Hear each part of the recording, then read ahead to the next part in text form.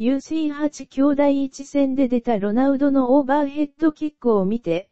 1994年度に戻った感覚を覚えた。K リーグ第17節ソウル戦を控え、12日、山現代のキム・ドフン監督がメディアインタビューでこう明かした。キム監督はロナウドの幻想的なオーバーヘッドについて、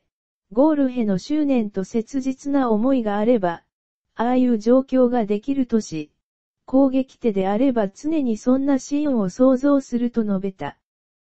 クリスティアーノ・ロナウドは今月4日、ユベントスとの UEFA チャンピオンズリーグベスト8第1戦で、後半19分、オーバーヘッドでの得点に成功した。キム監督は、1994年当時、代表初出場にウィオーバーヘッドキックだった年、A マッチ初ゴールへの切実さがあったと振り返った。現役国家代表のデビュー戦だったキム監督は1994年のウクライナ戦で、オーバーヘッドキックで得点し、一躍、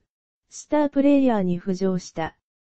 ロナウドのあの場面は私自身を見つめ直すきっかけになったという彼は、再び、映像を探さなければと笑った。